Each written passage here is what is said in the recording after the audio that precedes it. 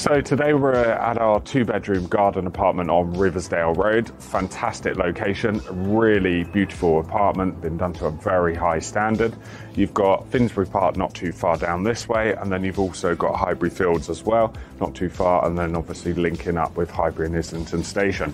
Why don't you come in and let's have a look?